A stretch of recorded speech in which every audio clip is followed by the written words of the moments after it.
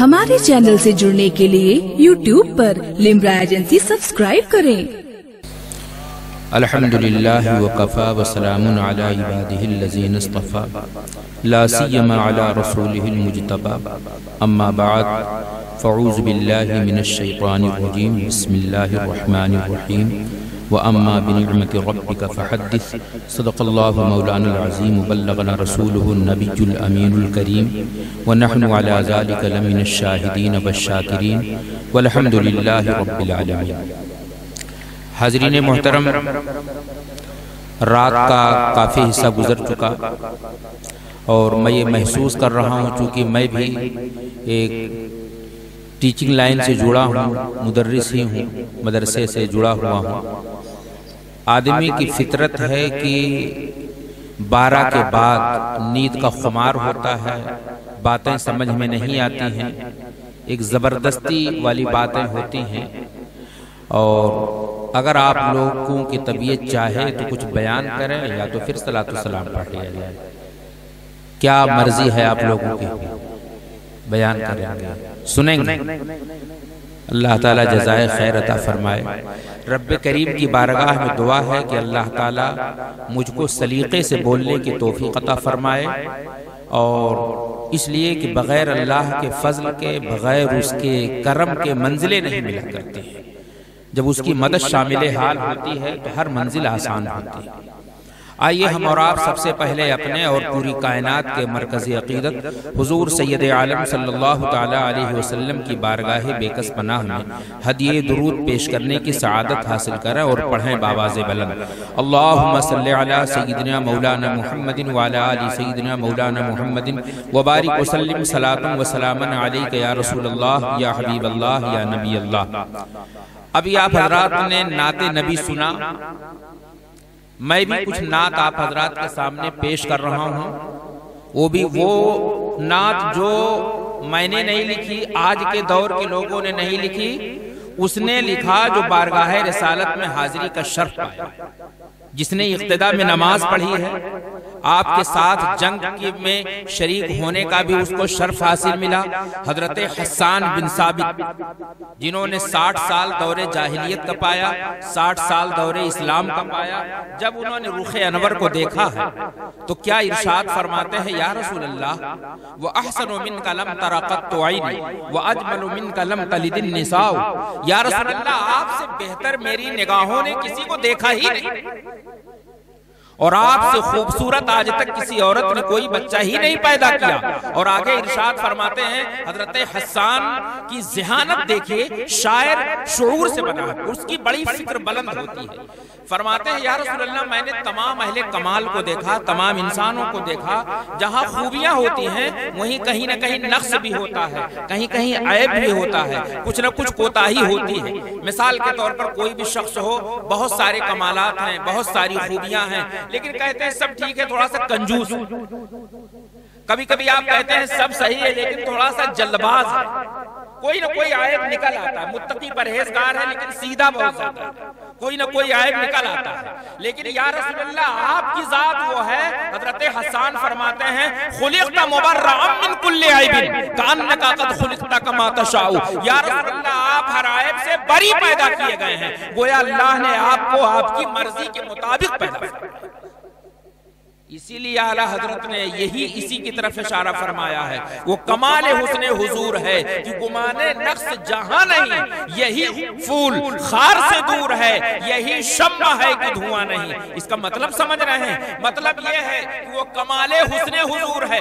رسول اللہ کے کمالات کا عالم یہ ہے کہ وہاں پہ نقص کا گمان ہی نہیں ہے، تصور بھی نہیں کیا جا سکتا ہے۔ اور اعلیٰ حضرت فرماتے ہیں، لوگ اپنے محبوبوں کو تشبیح دیتے ہیں۔ پھولوں سے جتنے بھی پھول ہوتے ہیں، آپ کو کانٹا ملے گا۔ پھولوں کا جو راجہ گلاب ہے، وہاں بھی جب آپ ہاتھ پہنچائیں گے، تو کانٹوں سے ملاقات پہلے ہوگی، پھول سے بعد میں ملاقات ہوگی۔ لیکن اعلیٰ حضرت فرماتے ہیں کہ میرے آقا رسول اللہ ایسے پھول ہیں کہ یہ دنیا کے وہ واحد پھول ہیں کہ صرف پھول ہی ایک کانٹا کا نام و نشان ہے۔ اور فرماتے یہی شمع ہے کہ دھواں نہیں، جہاں اور شمع جلتی ہے، وہاں اندھیرا جو ہے، وہاں کالا پڑ جاتا ہے، سیاہی پڑ جاتی ہے، لیکن رسول اللہ ایسی شمع ہے یہی شمع ہے کہ دھواں نہیں۔ آقا کی تعریف ہم اور آپ کیا کریں گے؟ آقا کا نام ہی اللہ نے محمد رکھا صلی اللہ تعالی علیہ وسلم۔ اللہ کا نام محمود۔ اور رسول اللہ کا نام جو اللہ نے رکھا، محمد۔ آسمانوں میں احمد اور زمین میں محمد۔ اگر کوئی رسول اللہ کی برائی بیان کرنا چاہے تو برائی بیان کر ہی نہیں سکتا۔ اس لیے کہ جب جب محمد کہے گا تو محمد کا مطلب بہت زیادہ تعریف کیا ہوا۔ محمد بھی کہہ رہا ہے اور برائی بھی بیان کر رہا۔ یہ ہو ہی نہیں سکتا۔ عرب والوں کو جملہ سمجھ میں آ گیا۔ یار رسول اللہ کی ہم برائی کریں گے تو ایک طرف محمد بھی کہتے ہیں پھر برائی بھی کرتے ہیں۔ یہ تو جو ہے ملاپ نہیں ہو رہا ہے۔ یہ تو میل ہی نہیں کھا رہا ہے۔ تو انہوں نے مزمم کہنا شروع کیا۔ رسول اللہ کو بجائے محمد کہنے کے مزمم کہنا شروع کیا۔ صحابہ نے عرض کیا، یا رسول اللہ یا آپ کو مزمم کہہ کر کے برا بھلا کہتے ہیں؟ تو رسول اللہ فرماتے ہیں، وہ مزمم کو برا بھلا کہتے ہیں۔ میرے اللہ نے میرا نام مزمم نہیں، محمد رکھا ہے۔ محمد کی برائی نہیں کر رہے، میں تو محمد ہوں۔ یہ میرے آقا کی شان ہے۔ اور اگر آقا کی شان دیکھنا ہو، او، تو آپ کو ایک بات بتلا دینا چاہتا ہوں۔ قرآن کریم کے حوالے سے رب کریم ارشاد فرماتا ہے، وَرَفَعْنَا لَكَ ذِكْرَ یہ محبوب، ہم نے آپ کے لیے آپ کی ذکر کو بلند فرمایا۔ آپ کے لیے آپ کے ذکر کو بلند فرمایا۔ کیسے؟ سنیے، جہاں اللہ کا نام وہی رسول اللہ کا۔ جہاں جہاں رب کا نام، وہیں وہیں رسول اللہ کا نام۔ صبح آپ نے نہیں دیکھا ہے جب آزان ہوتی ہے، جب موزین آزان پکارتا ہے، تو جہاں اشہدو اللہ الہ الا اللہ کہہ کر کے صدا دیتا ہے، بعد میں اشہدو ان محمد رسول اللہ بھی کہتا ہے۔ اور یہ صدا دنیا کے ہر خطے میں ہوتی ہے، انڈیا میں بھی ہوتی ہے، پاکستان میں بھی ہوتی ہے، امریکہ میں بھی ہوتی ہے، دنیا کے ہر گوشے میں ہوتی ہے۔ اور ان صداؤں کو پہاڑ کی بلندیاں بھی سنتی ہیں، سمندر کی موجیں بھی سنتی سنتی ہے باد سبا بھی سنتی ہے نصیب زہری بھی سنتی ہے۔ یہ اعلان کر کے بتلایا جا رہا ہے لوگوں، جہاں جہاں میرا نام ہوگا، وہاں وہاں میرے محبوب کا نام ہوگا، جہاں جہاں میرے نام کا چرچا ہوگا، وہاں رسول کے نام کا چرچا ہوگا۔ اچھا لگے تو بھی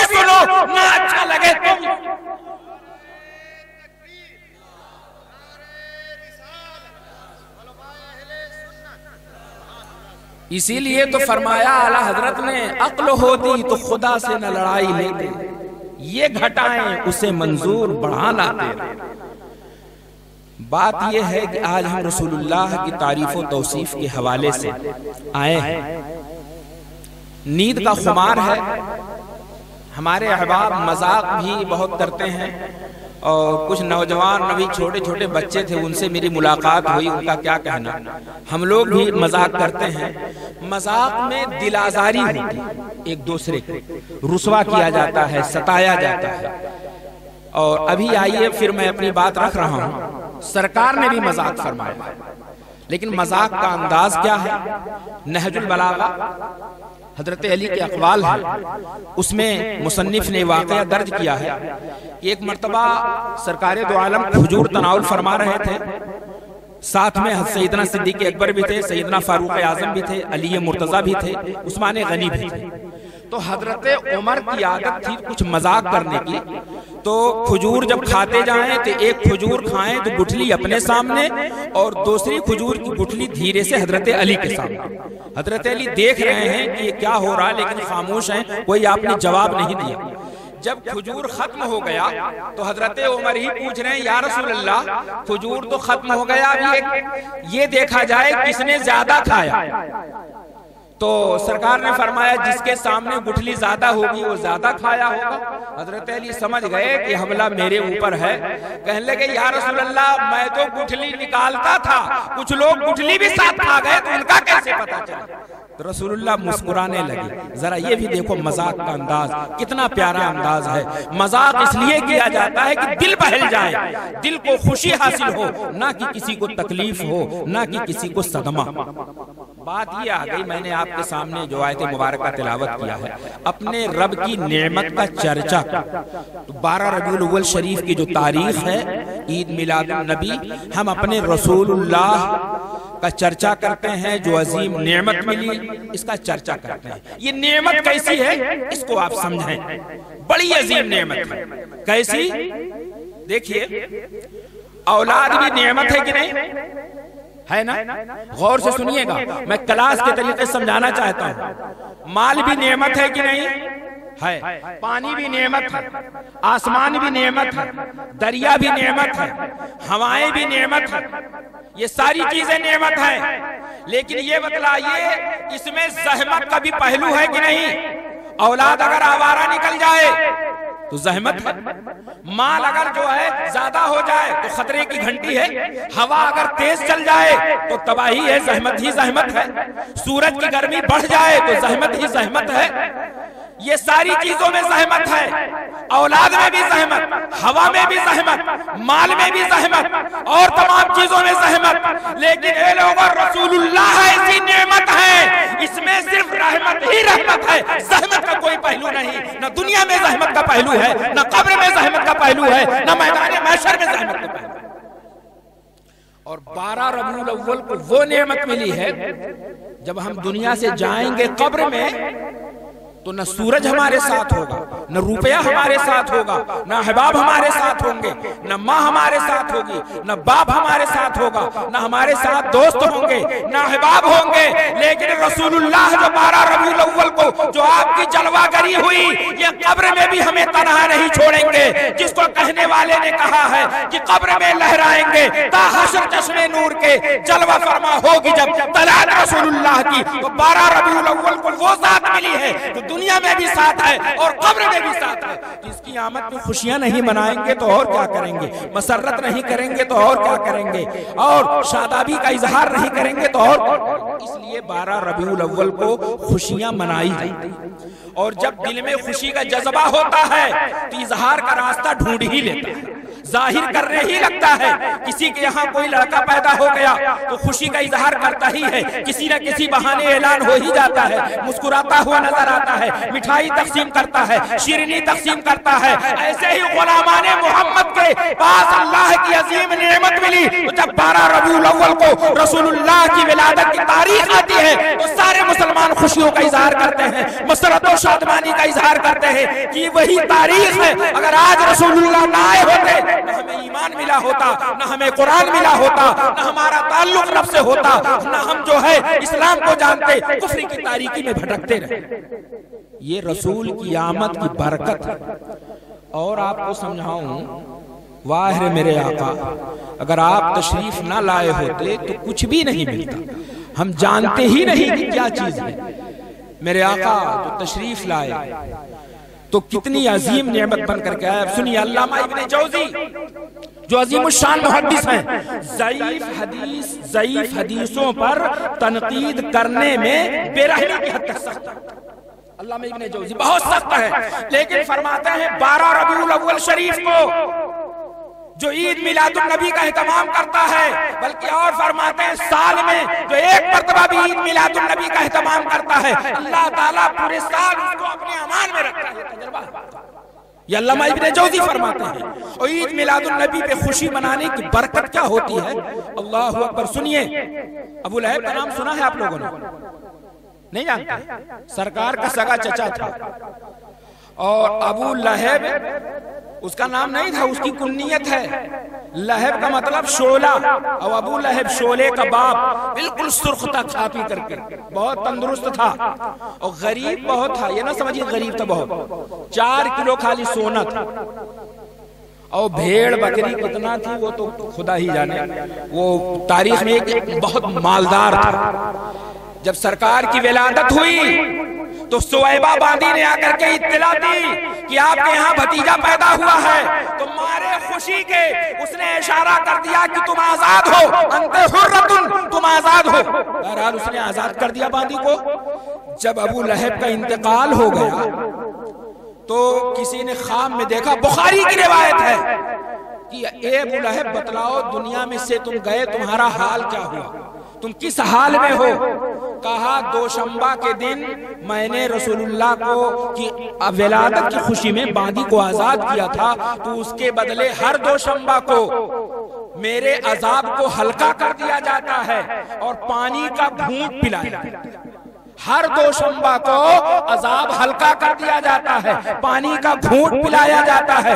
علماء بیان فرماتے ہیں کہ ولادت نبوی پر خوشی منانے کی برکت سے ایک ایسے کافر کو فائدہ مل رہا ہے، جس کی مذمت میں پوری ایک سورت نازل ہوئی ہے۔ ایک سورہ قرآن کریم میں جو ہے، نزول ہوا ہے۔ وہ فائدہ اٹھا رہا ہے۔ پانی کا گھونٹ پلایا جاتا ہے۔ عذاب ہلکا کر دیا جاتا ہے۔ حافظ الشام علامہ شمش الدین جزری فرماتے ہیں، اے لوگوں جب ایک کافر کو ولادت نبی پر خوشی منانے کا فیض مل سکتا ہے، تو اس عاشق رسول کا کیا عالم ہوگا جو دیوانگی میں آقا کی ولادت کے موقع پہ خوشیوں کا اظہار کس قدر رحمتیں برستی ہوں گی، کس قدر اللہ کا کرم ہوتا ہوگا اس کے اوپر؟ اس لیے آج جو آپ ولادت نبوی پر خوشی منا رہے ہیں، انشاءاللہ اس کا فیضان، اس کی برکتیں آپ کو ملتی ہوئی نظر آ رہی اور میرے آقا نے آ کر کے جو درس دیا ہے اللہ اکبر۔ مساوات کا لوگ دعویٰ کرتے ہیں۔ میں یہی سمجھانا چاہتا ہوں، چونکہ وقت آج نہیں ہے، حالات کچھ دوسرے ہیں۔ اور آپ لوگوں کو معلوم ہے کہ شاید کل فیصلہ آنے والا ہے سپریم کورٹ کا۔ تو ہمارا بھی مشورہ یہی ہے کہ امن و امان کو برقرار رکھیں۔ ہر طریقے سے فیصلہ جو بھی آئے گا، ہمیں اس کو قبول کرنا ہے۔ اور ماحول کو سازگار رکھنے کی کوشش کرنا ہے۔ جس طریقے سے ہو، امن و شانتی برقرار رہے۔ اور کسی طرح کا کوئی نقصان نہ پہنچے قانون کو اپنے ہم کو اپنے ہاتھ میں نہیں لینا۔ اللہ تعالیٰ تمام مسلمانوں کی حفاظت فرمائے۔ جہاں بھی رہیں، جس حال میں رہیں، سب کو اللہ تعالیٰ محفوظ رکھے۔ درود شریف پڑھیے، پھر میں اپنی بات بتلاؤں۔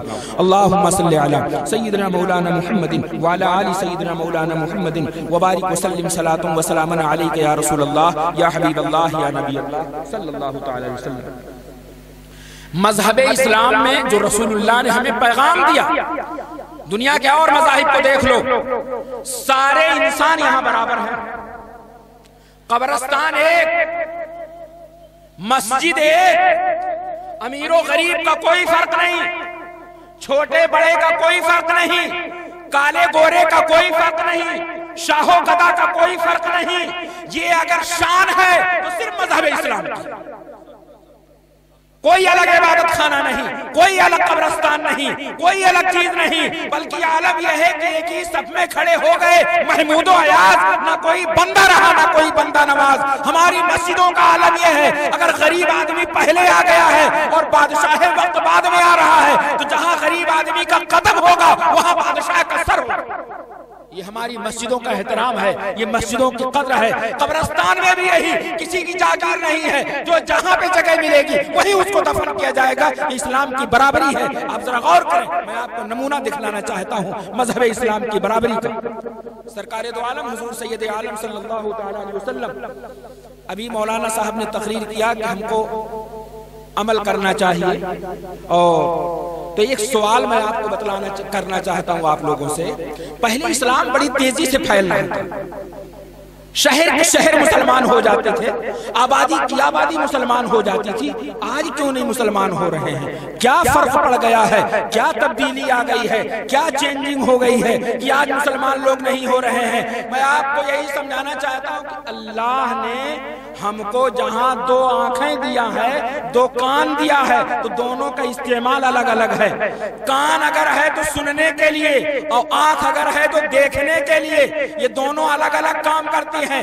ہم میٹھی میٹھی باتیں تو کرتے ہیں، لیکن عمل نہیں کرتے ہیں۔ تو انسان کو اللہ نے آنکھیں دیا ہے کہ تاکہ جو یہ شخص باتیں کر رہا ہے، یہ کر بھی رہا ہے کہ نہیں۔ جیسا کہتا ہے، ویسا کرتا بھی ہے کہ نہیں۔ جب وہ دیکھ لیا کرتے تھے کہ جو زبان پہ ہے، وہی کردار میں ہے۔ تو مان لیا کرتے تھے۔ اب آج ہمارا یہ حال ہو گیا ہے۔ اسلام کو زبان سے سمجھاتے زیادہ ہیں، دکھاتے نہیں ہیں۔ اور پرانے مسلمان جو ہوا کرتے تھے، وہ سمجھاتے کم تھے، دکھاتے زیادہ تھے۔ دیکھنے والوں کی تعداد زیادہ ہوتی ہے، سمجھنے والوں کی تعداد کم ہوتی ہے۔ تو وہ دکھا دیا کرتے تھے۔ اس لیے اسلام پھیلتا ہوا نظر آتا تھا کیسے؟ آؤ ذرا دیکھو۔ جنگ بدر کا مارکا ہے۔ مسلمان جا رہے ہیں، سواریوں کی کمی تھی۔ ایک سواری پہ ایک اونٹ پہ تین لوگ، تین سپاہی جائیں گے۔ آج کا ذرا فوجی وصول دیکھ لو۔ جو جرنل ہوتا ہے، چیف جرنل، اس کی سواری الگ، اس کا انتظام الگ، ساری جو ہے وی آئی پی فیسلٹیاں اس کے لیے ہوتی ہیں۔ لیکن رسول اللہ کو دیکھو، ایک اونٹ پہ تین لوگ رسول اللہ نے الگ سے اپنے لیے سواری نہیں رکھا، الگ سے کوئی انتظام نہیں رکھا۔ اپنی سواری پر آپ نے حضرت علی کو رکھا، حضرت ابو دردہ کو رکھا۔ چنانچہ ہر سپاہی چاہتا تھا کہ رسول اللہ سوار ہو کر کے چلیں ہم پیدل چلیں گے، لیکن میرے آقا نے گوارا نہیں فرمایا۔ چنانچہ حضرت علی حضرت ابو دردہ ہاتھ جوڑ کر کے کھڑے ہوتے ہیں۔ یا رسول اللہ، آپ پیدل نہیں چلیں گے۔ آپ کی بھی طرف سے بھی ہم پیدل چل لیں گے۔ اپنی طرف سے بھی پیدل چل لیں گے۔ لیکن یا رسول اللہ، آپ سوار ہو کر کے چلیں گے۔ ہم غلام پیدل چلیں گے۔ لیکن میرے آقا نے فرمایا، ایسا نہیں ہوگا۔ کچھ دور حضرت علی سوار ہو کر کے چل رہے ہیں۔ کچھ دور حضرت ابو دردہ سوار ہو کر کے چل رہے ہیں۔ سرکار پیدل چل رہے ہیں۔ پھر سرکار پیدل چل، سرکار سوار ہو کر کے چل رہے ہیں۔ صحابی پیدل چل رہے ہیں۔ زمانے نے یہ منظر دیکھا، آقا نے حکم دیا، اے میرے صحابہ، بیٹھ جاؤ، رسول پیدل چلے گا، تاکہ دنیا دیکھے کہ جو کہا جاتا ہے، وہ کر کے دکھائے۔ ہمارے رسول نے کر کے دکھلایا اور تاریخ میں آیا کہ حضرت علی بیٹھے ہوئے ہیں، حضرت ابو دردہ بیٹھے ہوئے ہیں اور رسول اللہ اونٹ کی نکیل پکڑ کر لے کر چل رہے ہیں۔ کیوں؟ اس لیے کہ میرے آقا صرف کہتے رہے تھے، بلکہ کر کے دکھایا کرتے تھے۔ اس لیے ہم مومنوں کا بھی مزاج ہونا چاہیے۔ جو کہیں وہ کر کے بھی دکھلاتے اور آگے میں بتلاؤں، سرکار دو عالم صف کو ملاحظہ فرما رہے ہیں۔ ایک صحابی رسول کا پیٹ ذرا سا آگے بڑھا ہوا تھا۔ سرکار دو عالم کے دستے انور میں چھڑی تھی۔ اشارہ کیا، پیچھے ہو جاؤ۔ پیچھے ہو گئے۔ اس کے بعد، تھوڑی دیر کے بعد جب صف درست ہو گئی تو صحابی رسول کیا کہتے ہیں؟ یا رسول اللہ، آپ نے جو میرے پیٹ میں کچوکا لگایا ہے، مجھے تکلیف پہنچی ہے۔ مجھے بدلہ چاہیے۔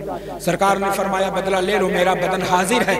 لوگ حیرت زدہ، کیا کر رہے ہو؟ سرکار سے بدلہ۔ اتنی جرات بڑھ گئی۔ بات تکلیف مجھے ہوئی ہے کہ آپ لوگوں کو تکلیف۔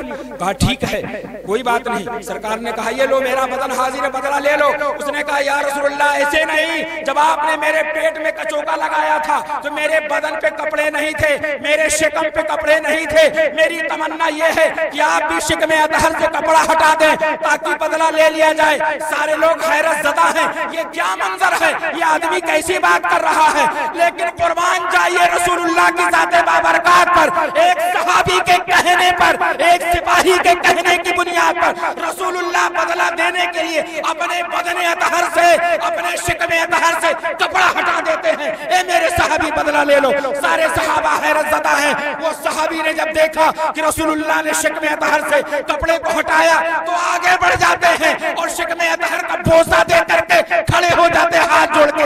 یا رسول اللہ، یہ میں نے گستاخی اس لیے کیا ہے تاکہ میدان جنگ میں کھڑا ہوں۔ اگر شہید ہو جاؤں تو میں جہنم سے محفوظ ہو جاؤں۔ تاکہ میں نے سوچا دنیا سے جاتے جاتے شکم اتحر کا بوسا لے لوں تاکہ میری آخرت کامیاب ہو یہ رسول اللہ کا کردار تھا جو کہتے تھے، وہ کر کے دکھا دیتے تھے۔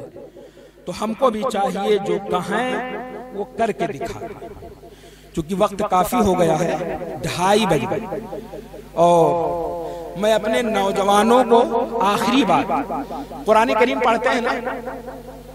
پڑھتے ہیں نا؟ لیکن مطلب سمجھنے کی باری نہیں ہے۔ دو باتیں قرآن کریم کی سننا چاہتے ہیں بہت مختصر انداز اپنے بڑوں کو بچوں کو بھی سکھانا چاہتا ہوں۔ قرآن کریم بیچ میں کوئی واسطہ نہیں۔ سنیے شاید اللہ تعالی ہم کو بھی سمجھ عطا فرمائے آپ کو بھی سمجھ عطا فرمائے۔ ایک آیت مبارکہ ہے سورہ حجرات شریف۔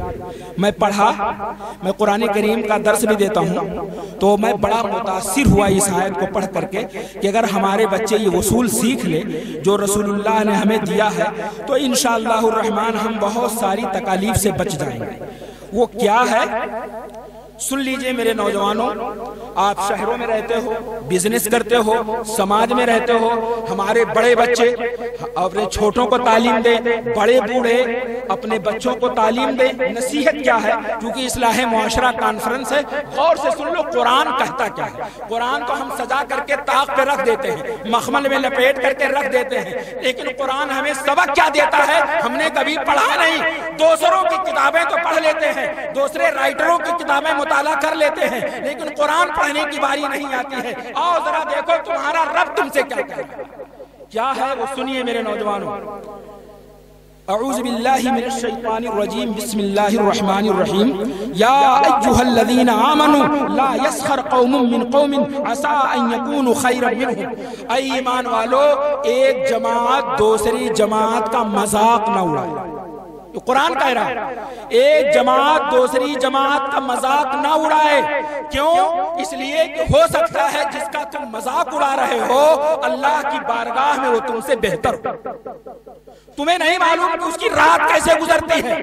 وہ رات کو کیسے گزارتا ہے اپنے رب کے ساتھ؟ کس قدر عبادت کرتا ہے؟ کس قدر تلاوت کرتا ہے؟ یہ تمہیں پتا نہیں، اس لیے مذاق نہ اڑایا کرو۔ مذاق اڑانے سے دل آزاری ہوتی ہے، دل شکنی ہوتی ہے۔ تو تم دل شکنی کے سبب نہ بنو۔ خوشخبری دو، نفرت نہ پھیلاؤ۔ دوسری وجہ کیوں ہے؟ مذاق اڑانے سے کیوں روکا جا رہا ہے؟ اس کی وجہ سنیے۔ علماء بیان فرماتے ہیں، جب آپ کسی کا مذاق اڑائیں گے، گویا آپ اس بات کا اعلان کر رہے ہیں کہ آپ کی عزت میرے دل میں نہیں ہے، آپ کا احترام میرے دل میں نہیں ہے۔ اگر احترام ہوتا تو ہم مذاق نہیں اڑاتے، اگر تعظیم ہوتی تو مذاق نہیں اڑاتے۔ تو جب اگلے کو پتا چل جائے گا کہ اس کے دل میں آپ کی عزت نہیں ہے، تو پھر آپ کی عزت کیوں رکھے گا؟ وہ بھی آپ کی عزت نہیں کرے گا، وہ بھی آپ کا احترام احترام نہ گا بات سمجھ میں آ گئی؟ اور آگے ذرا دیکھیں یا ایوہ الذین آمنوں میں سب شامل ہو گئے۔ چاہے مرد ہو، چاہے عورتیں۔ لیکن قرآن نے عورتوں کو اسپیشل خطاب کیا۔ الگ سے خطاب کیا۔ اور ارشاد ہوتا ہے کہ ارشاد ہوتا ہے، ولا نساء من نساء نہ عورتیں دوسری عورتوں کا مذاق اڑائیں۔ عسا ان یکن خیرا منہن ہو سکتا ہے وہ عورتیں جن کا مذاق اڑا رہی ہوں، وہ بہتر ہیں ان سے جو مذاق اڑا رہی ہوں۔ تو ہم کو قرآن کا ایک وصول معلوم ہوا کہ اگر سماج میں عزت حاصل کرنی ہے، سماج میں محبت پیدا کرنی ہے، تو ایک دوسرے کا مذاق نہ اڑائیں، یہ قرآن کی تعلیم ہے۔ اس کو دل میں بیٹھا لیجیے۔ اور آگے ارشاد ہوتا ہے، وَلَا تَلْمِزُوا أَنفُسَكُمْ۔ اپنے آپ کو عیب نہ لگاؤ۔ تلمزو یہ لفظ کس کو کہتے ہیں؟ مذاق اڑانا کس کو کہتے ہیں؟ یہ بھی سن لیجیے۔ کسی کی نقل اتارنا، یہ بھی مذاق اڑانا ہے۔ کسی کے کپڑے کا مذاق اڑانا، یہ بھی مذاق اڑانا ہے۔ کسی کے مال و دولت کا مذاق اڑانا، یہ بھی مذاق اڑانا ہے۔ آنکھ سے اشارہ کرنا، بھاؤں سے اشارہ کرنا، یہ بھی مذاق اڑانا ہے۔ تو قرآن کریم فرما رہا ہے، اپنے آپ کو عیب نہ لگاؤ۔ اگر عیب نکالو گے کسی کو، کسی کا عیب ڈھونڈو گے، تو اس کا عیب کھلے گا، تو اس کو تکلیف ہوگی، نتیجہ یہ ہوگا کہ تمہارے عیب بیان کرے گا۔ تو اگر تم اس کے عیب بیان نہ کرتے، تو آج وہ تمہارا عیب بیان نہیں کرتے۔ یہ قرآن کی تعلیمات ذرا دیکھو۔ اگر جینے کا سلیقہ سیکھنا ہے تو قرآن سے سیکھو۔ اور آگے ارشاد ہوتا ہے، وَلَا تَنَابَزُوا بِالْأَلْقَابِ۔ اور تم جو ہے، برے لقب سے نہ پکارو۔ مطلب کوئی لنگڑا ہے تو اس کو لنگڑا نہ کہو۔ اے لنگڑا، ادھر آؤ۔ اندھا ہے۔ تو یہ اندھے مت ادھر کہو۔ ایک کانا ہے، تو کنوا مت کہو۔ اس لیے کہ ایسے لقب سے اس کو تکلیف ہوگی، اس کو صدمہ پہنچے گا۔ ایسے القاب سے یاد کرو جو اسے اچھا لگے۔ یہ قرآن کی تعلیم ہے۔ برے لقب سے یاد نہ کرو۔ برے کلمات سے یاد نہ کرو۔ بئسل اسم الفسوق بعد الایمان۔ کیا ہی برا نام ہے۔ فاسق ہونا ایمان کی بات۔ ومن لم یتب فاولائک هم الظالمون۔ جو ان حرکتوں سے توبہ نہ کرے وہ ظالم ہے۔ اللہ اکبر ذرا غور کریں۔ کہ قرآن فرما رہا ہے، اگر تو ایمان نہ لائے ہوتے، تو شکایت کا کوئی موقع نہیں تھا۔ لیکن ایمان لانے کے بعد، اللہ کا کلمہ پڑھنے کے بعد، رسول اللہ کا کلمہ پڑھنے کے بعد ایسی حرکتیں کرنا، یہ مومن کی شان نہیں ہے۔ مومن کی شان یہ ہے، دوسرے کو عزت دینا، دوسرے کی تعظیم کرنا، دوسرے کے وقار کو بحال کرنا، نہ کہ دوسرے کو رسوا کرنا۔ اور آگے ارشاد ہوتا ہے یا ایوہ الذین آمنوا اجتنبوا کثیرا من الظن اے ایمان والو بہت زیادہ گمان کرنے سے بچو۔ ان بعض الظن اسم اس لیے کہ بعض گمان گناہ ہوتے ہیں۔ کسی کے بارے میں جب تک ثبوت شرعی نہ مل جائے، جب تک آپ کو پکا ثبوت نہ مل جائے، آپ بدگمانی نہ کریں، آپ کو اجازت نہیں ہے۔ اور گمان کی تین قسمیں ہیں۔ ایک گمان واجب ہے، ایک گمان مستحب ہے، ایک گمان مباح ہے۔ اللہ کے بارے میں جو گمان رکھو، وہ اچھا گمان رکھو۔ گمان رکھنا واجب ہے اچھا گمان رکھنا۔ حضرت جابر فرماتے ہیں، رب فرماتا ہے، بندہ میرے بارے میں جیسا گمان رکھے گا، ویسا ہی میں اس کے ساتھ سلوک دوں تو ہم کو یہ چاہیے کہ رب سے اچھا گمان رکھیں۔ اور مستحب یہ ہے کہ اگر کسی مومن کا ظاہری حال اچھا ہو، تو اس کو اچھا گمان کیا جائے۔ بلا وجہ غلط گمانی نہ پیدا کی جائے، بد گمانی نہ پیدا کیا جائے۔ جب تک ٹھوس ثبوت نہ مل جائے، تب تک اس کے خلاف کوئی کاروائی کرنے کی اجازت نہیں۔ اور آگے سنیے۔ قرآن کے وصول ولا تجسسو اور ایک دوسرے کی ٹوہ میں نہ رہو۔ جیسے ہماری اور آپ کی عادت ہے، چھپ کر کے، جھانک کر کے دروازہ دیکھتے ہیں۔ کون کیا کر رہا ہے؟ کیا نہیں کر رہا ہے؟ ایک مرتبہ سرکار دو عالم حجرے پاک میں تھے۔ ایک شخص جھانک کر کے دیکھ رہا تھا۔ سرکار دو عالم کے دست انور میں کنگی تھی۔ آپ نے فرمایا، تمہاری آنکھوں میں اس کنگی کو میں ڈال دوں گا۔ یہ جھانک کر کے دیکھنا اچھی بات نہیں ہے۔ چھپ کر کے دیکھنا اچھی بات نہیں ہے۔ یہ شریف لوگوں کا طریقہ نہیں ہے۔ شریف لوگ اجازت اجازت لے کر کے اندر آ جایا کرتے ہیں۔ چھپ کر کے نہیں دیکھا کرتے۔ کیوں؟ روایتوں میں آتا ہے، جب آپ کسی کا عیب تلاشیں گے، تو اللہ عیب، آپ کے عیب کو تلاش کر کے رسوا کر دے گا۔ آپ کے عیب کو ظاہر کر کے رسوا فرما دے گا۔ جب آپ کسی کی پردہ پردہ پوشی کریں گے، آپ کسی کے عیب کو چھپائیں گے، تو اللہ تعالیٰ آپ کے عیب کو چھپا دے گا۔ اس لیے ہم کو چاہیے کہ عیب ظاہر نہ کریں۔ ہمارے اندر بھی کمیاں ہیں، ہمارے اندر بھی عیب ہے، ہمارے اندر بھی برائیاں ہیں۔ جیسے ہم پسند کرتے ہیں کہ ہمارا عیب چھپا رہے، ویسے اگلا بھی پسند کرتا ہے کہ اس کا بھی عیب چھپا رہے۔ تو آپ عیب چھپائیں گے تو اللہ آپ کے عیب کو چھپا دے گا اسلام کا جو وصول ہے، کسی کی پرائیویٹ زندگی میں دخل دینے کی اجازت نہیں دیتا۔ کسی کی پرائیویٹ زندگی کو جھانکنے کی اجازت نہیں دیتا۔ یہ اسلام کے قانون ہے ولا تجسسو کسی کی ٹوہ میں نہ رہو۔ میں آپ کو روایت بیان کرتا ہوں۔ سیدنا فاروق اعظم ہیں۔ یہ رات کو چکر لگایا کرتے تھے۔ ہر گھر کا، ہر گلی کا چکر لگایا کرتے تھے۔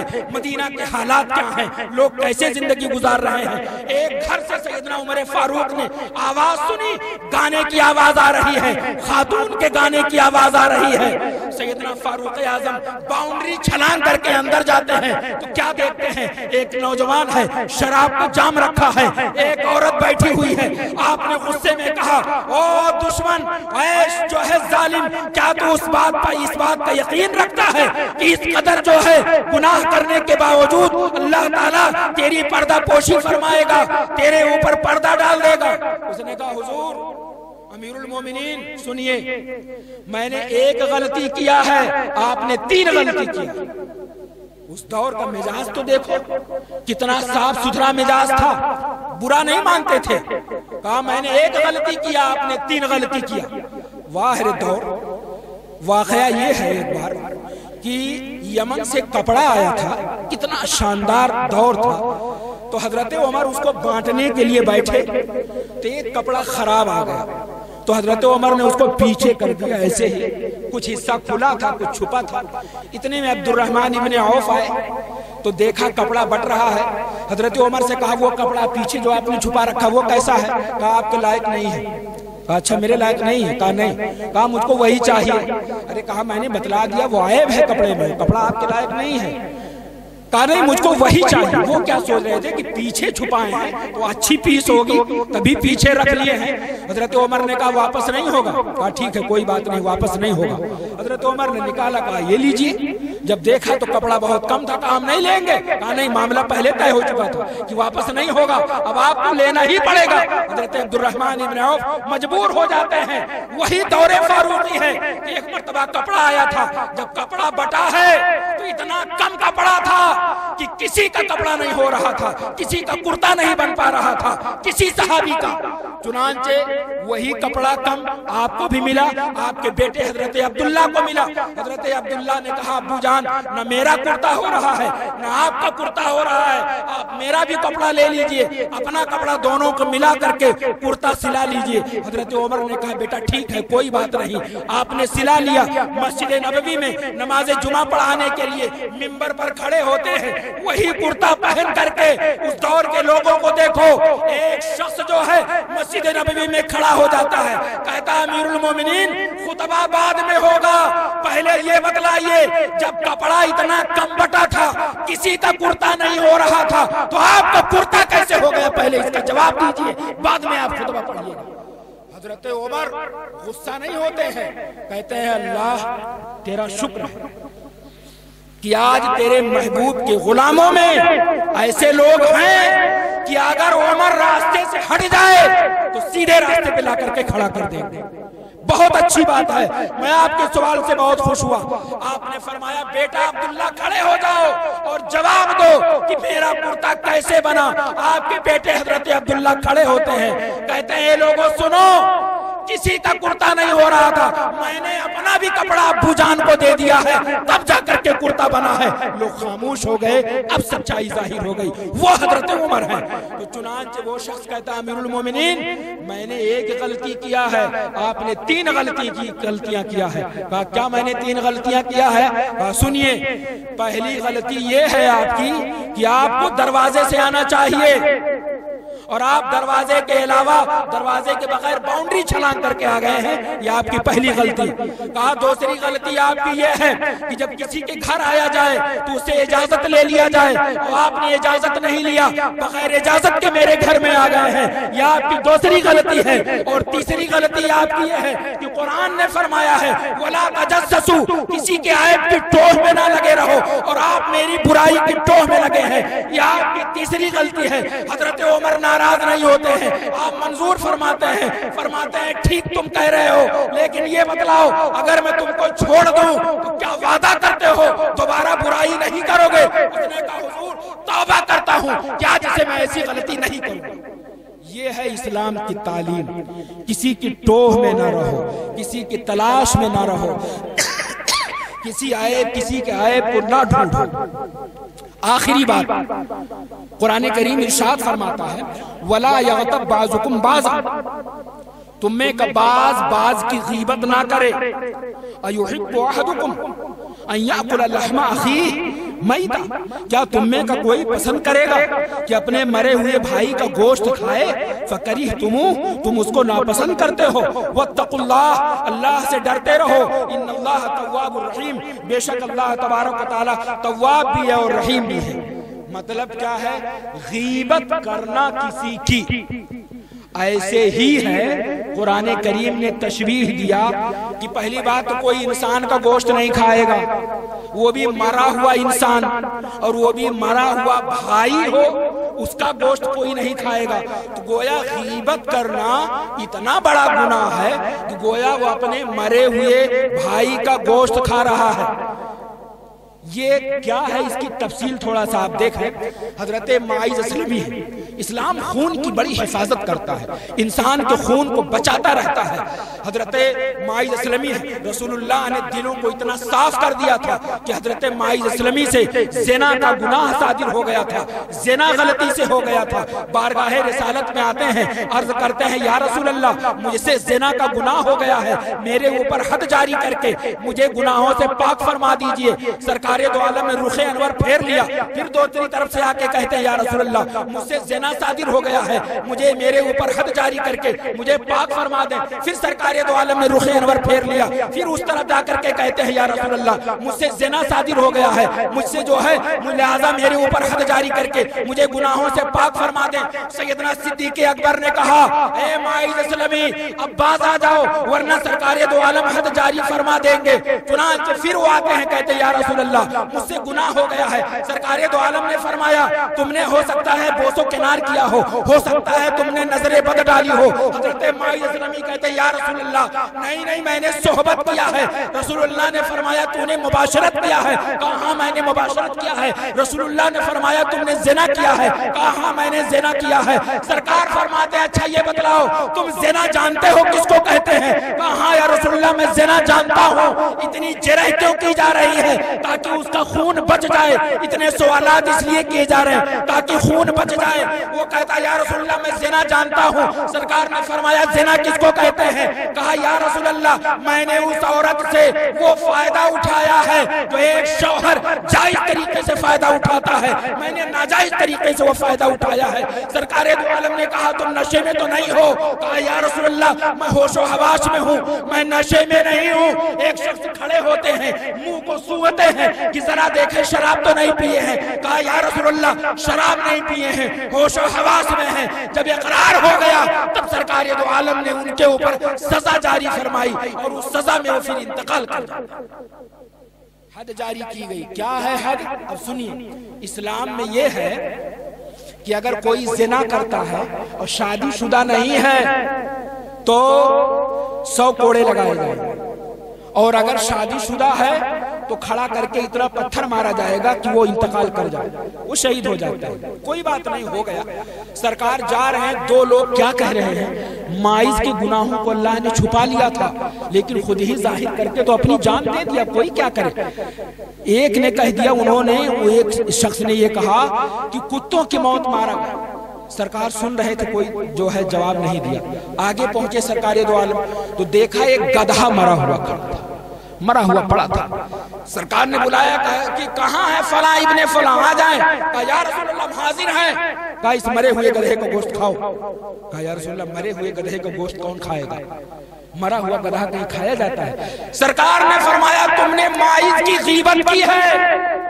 مائز کی غیبت کے بدلے اس مرے ہوئے گدھے کے گوشت سے بھی گوشت کے کھانے سے بھی زیادہ برا ہے۔ تم کس مائز کی برائی کر رہے ہو؟ میں نے دیکھا ہے کہ جنت کے نہروں میں وہ ڈبکیاں لگا رہے ہیں، اللہ نے بخش دیا۔ یہ تو ہم کو قرآن کی جو تعلیم مجھے دینا تھا، عزت چاہتے ہو تو مذاق نہ اڑاؤ کسی کا۔ کسی کی غیبت نہ کرو۔ کسی کی جو ہے کسی کے بارے میں بدگمانی نہ کرو۔ جب تک ثبوت شرعی نہ مل جائے۔ یہ میں نہیں کہہ رہا ہوں، آپ کا رب کہہ رہا ہے، آپ کا قرآن کہہ رہا ہے، آپ کا خدا کہہ رہا ہے، آپ کا معبود کہہ رہا ہے۔ اس کی بات آپ مان لیجیے۔ میری بات ماننے کی ضرورت نہیں ہے۔ میں تو گنہگار ہوں، بدکار ہوں، سیاہکار ہوں۔ اور رب کو راضی کرنے کی کوشش کیجیے۔ اور سمجھنے کی کوشش کیجیے چونکہ وقت بہت ہو گیا ہے اور میں بوجھ نہیں بننا چاہتا، چونکہ میں بھی اتنی دیر تک جگنے کا عادی نہیں ہوں، تقریباً پونے تین ہونے والے ہیں۔ اور گفتگو ختم کی جائے، اللہ تبارک و تعالی ہم سے اور آپ سے وہ کام لے لے، جس سے وہ راضی ہو جائے اس کا حبیب راضی ہو جائے۔ بس ایک آخری گزارش کہ نماز میرے احباب پابندی سے کریں۔ ہمارے نوجوانوں کو نہیں پتا کہ نماز یہ بوجھ سمجھتے ہیں۔ کیا سمجھتے ہیں؟ بوجھ۔ ان کو نہیں پتا۔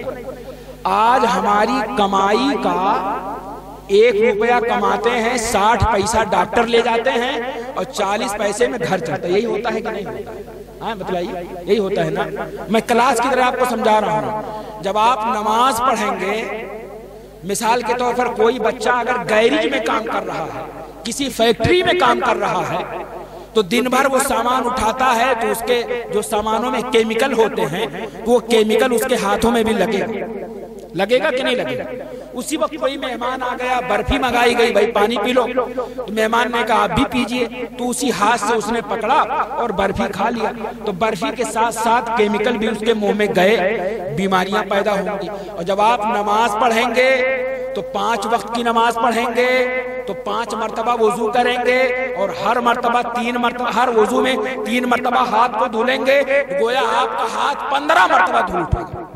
اب جو ہاتھ پندرہ مرتبہ دھلا جائے چوبیس گھنٹے میں اب اس ہاتھ سے جو غذا کھائی جائے گی وہ صاف رہے بیماری نہیں پھیلائے گی۔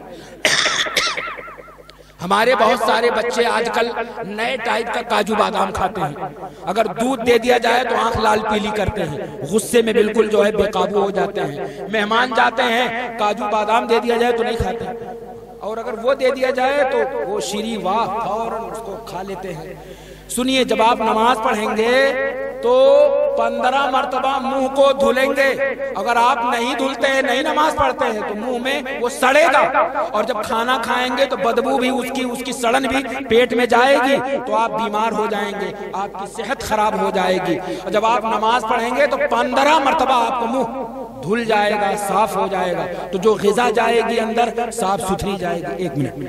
اس کے بعد کسی مذہب میں ناک میں پانی ڈالنے کا حکم نہیں، ناک صاف کرنے کا حکم نہیں، صرف مذہب اسلام۔ کیوں؟